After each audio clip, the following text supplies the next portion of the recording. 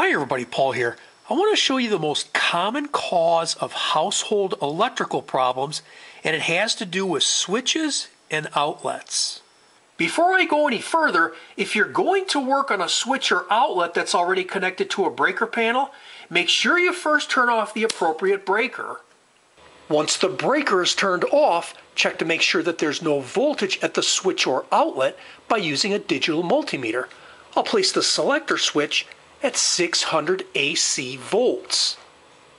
Take your digital multimeter and place one probe on the black wire side connection and place the other probe on the white wire side connection. It does not matter which color probe you use on which side.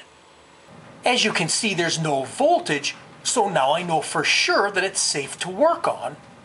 When it comes to a switch or an outlet, attaching the wires to the side screws is where the problems occur. If not enough insulation is removed from the wire, then once the end of the wire is made into a half circle and placed around the screw, the wire will not make full contact with the screw once it's fastened down. This is because of having insulation between the wire and the screw, which will lead to arcing and overheating. Eventually it will fail and won't work. Here's an example of a correctly installed wire to the side screw of an outlet.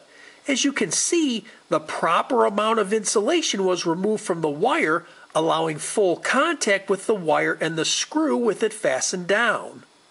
To avoid this problem, always make sure to remove enough insulation from the wire. You may even have a strip gauge on the back of the switch or outlet like you see here. Simply slide the wire into the strip gauge until it stops and remove the insulation at the outer edge of the receptacle. As you can see, the proper amount of insulation has now been removed. Now twist the exposed wire into a half circle.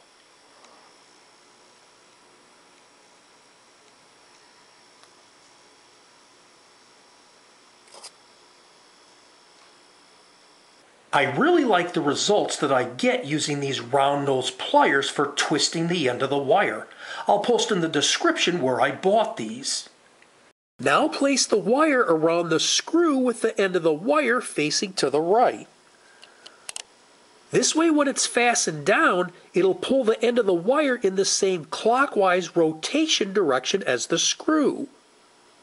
I hope you found this helpful. And if you like this video, please hit the like button below, share it with your friends, and please be sure to subscribe.